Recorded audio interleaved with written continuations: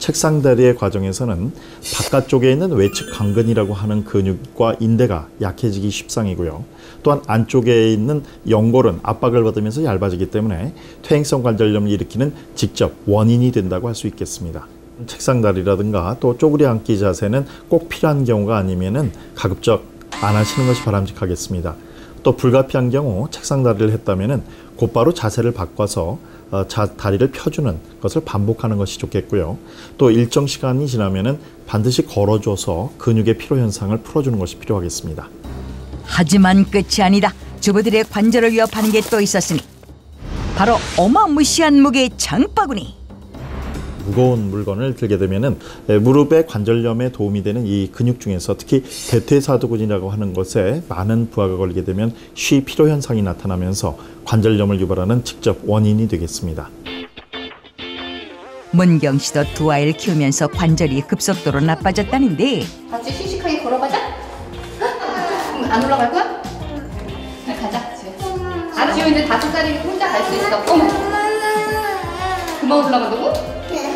한창 엄마 손이 필요한 딸을 안아주느라 매일 밤 관절통으로 밤잠 설치기 일수란다. 지우야, 16kg래요. 지금 몸무게 좀 나가는 편이거든요. 근데 하, 이제 아무래도 이 계단 올라가는 게 이제 한 해 한 해가 틀려요. 자꾸 안아달라고 힘들 때 안아달라고 하니까 안 안아줄 수도 없고. 그렇다면 무거운 것을 들 때 관절엔 얼마나 무리가 갈까? 캐틀벨을 들고 무릎 압력을 측정해봤는데 검사 결과는 상당히 충격적이었다. 엄청난 압력이 무릎에 실렸던 것. 관절 약한 폐경기 주부에겐 엄청난 압력이란다.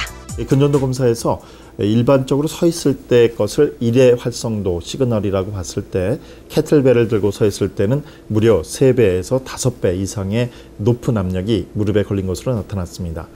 아, 이 같은 현상은 무릎에 더욱 많은 부하가 걸렸다는 것을 의미하기 때문에 무릎의 관절염을 유발하는 원인이 된다고 하겠습니다. 그러나 주부들 관절 아무리 아파도 포기 못하는 게 있었으니 이름부터 아찔하다 여자들의 필수템 하이힐. 장바구니 아무리 무겁다 한들 하이힐을 포기할 소냐? 주부들의 안전한 출타를 위해 하이힐이 관절에 얼마나 치명적인지를 알아봤다 운동화를 신었을 때와 하이힐을 신었을 때 발에 또 무릎에 걸리는 압력이 어떻게 변화하는지를 보기 위한 조각 검사가 되겠습니다. 운동화를 신었을 때는 앞뒤 또 전후 좌우의 모든 압력 분포가 정상으로 나타났는데요.